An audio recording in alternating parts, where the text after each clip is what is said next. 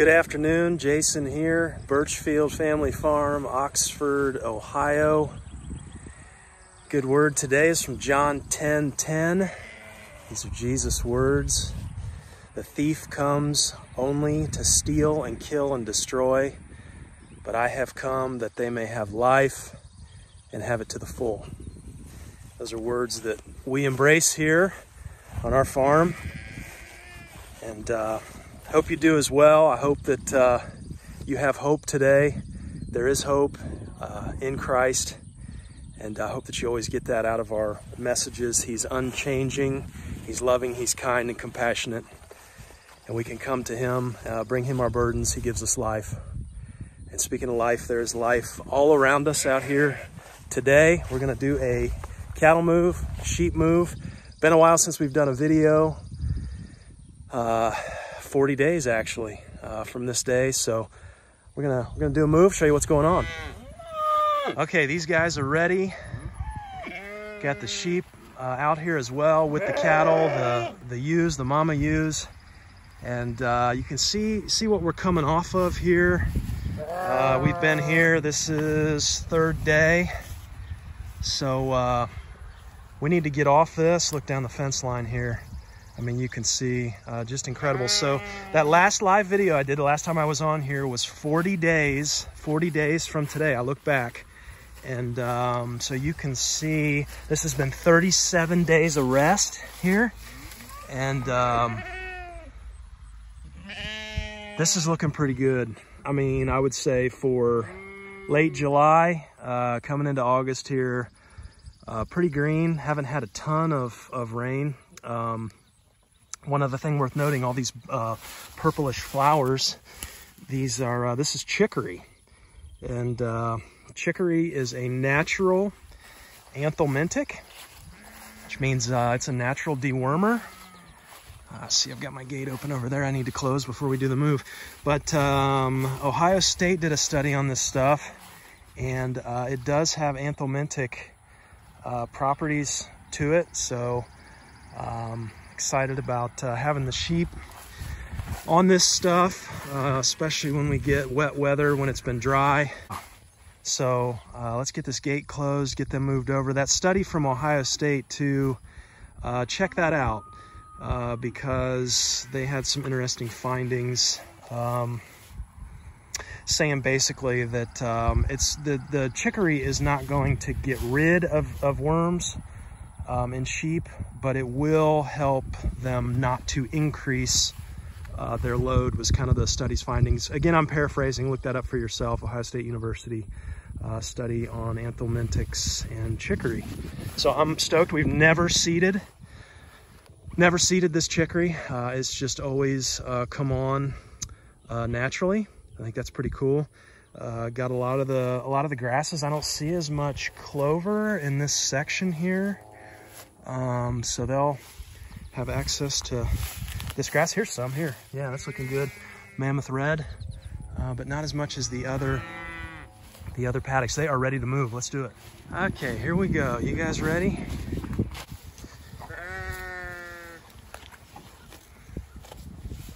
Flies have definitely been an issue this time of year. They are bad this year. I put out a few traps, but uh, I can see we probably need to do a little more with our uh, cider vinegar spray we mix up. It doesn't last long, but looks like I need to do something there, especially on the bull. He's uh, They'll kick up some dust this time of year just to try and keep those babies down on their own, but we need to do something. Sheep. Oh yeah, loving this. So again, 30, 37 days rest on this one. If you remember, um, we were doing everything we could um, in the early spring season when it was wet um, to keep this soil covered. I wanted the moisture kept in. Uh, we did not mow.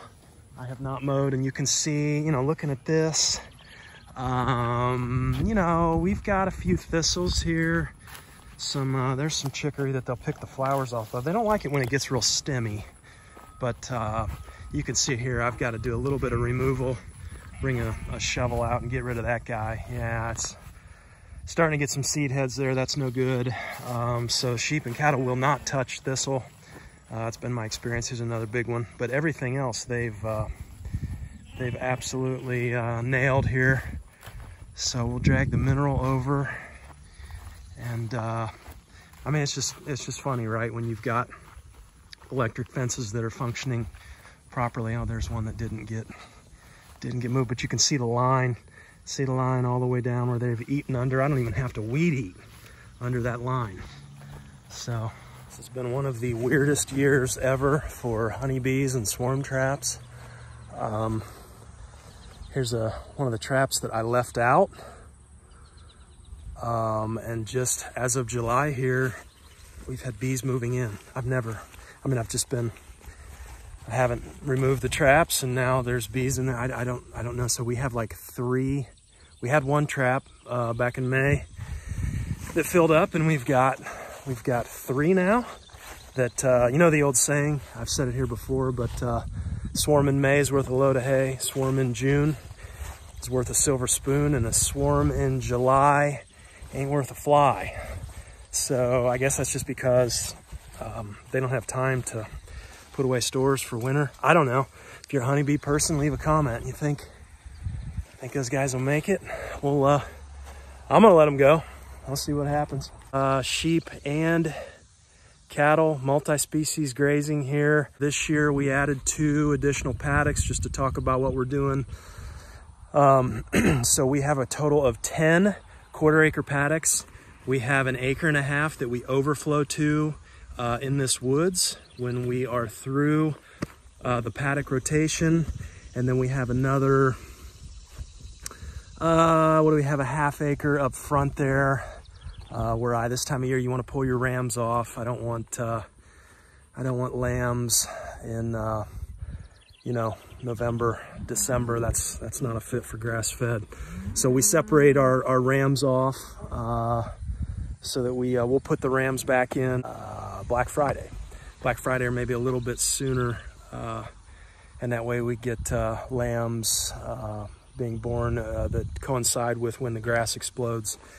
Anyhow, so that I, I believe we're at about we're at about five acres now out here that we're doing rotationally.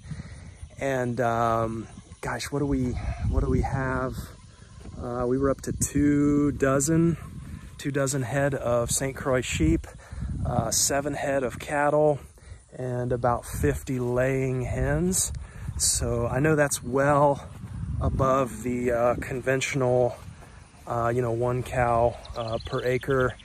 I was just talking to somebody this morning about how uh, how pleased I am with this system, that it's it's working. We can see it.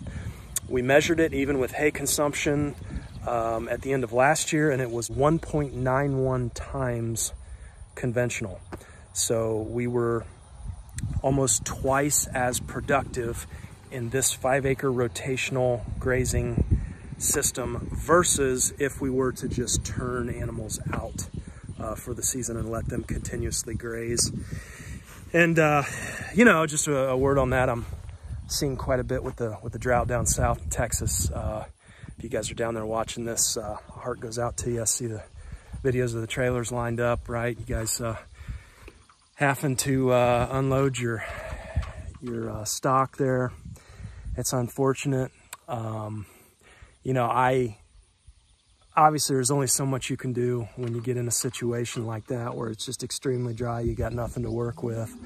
But I did see a post on a guy just encouraging folks to uh, you know have a sacrifice paddock uh, if you get too dry. Uh, he was kind of saying the temptation is just to you know, open up those fences on a rotational grazing system, cut them, cut them open and let everybody just go wherever to buy yourself a little bit of time.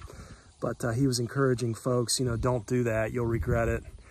Uh, you'll, you'll hurt your, you'll hurt your ground in the long run. Uh, so he, his suggestion was, you know, have a, have a sacrifice area where you can run them to, uh, keep them in and, and, feed out some hay or whatever you got to do uh, for the meantime. So that'd be a, be a heck of a, heck of a hard thing to go through. I know uh, some folks you know, getting rid of some of their stock, but they're kind of, sounds like from what I'm reading, kind of getting down to the bare bones on the, uh, the good, the good cattle that you got left behind and trying to make some tough decisions now about what the heck you do. So, uh, tough spot to be in. You guys hang in, uh, down there and, uh, you know, praying for rain, right? Got to have that, got to have that rain to keep it going.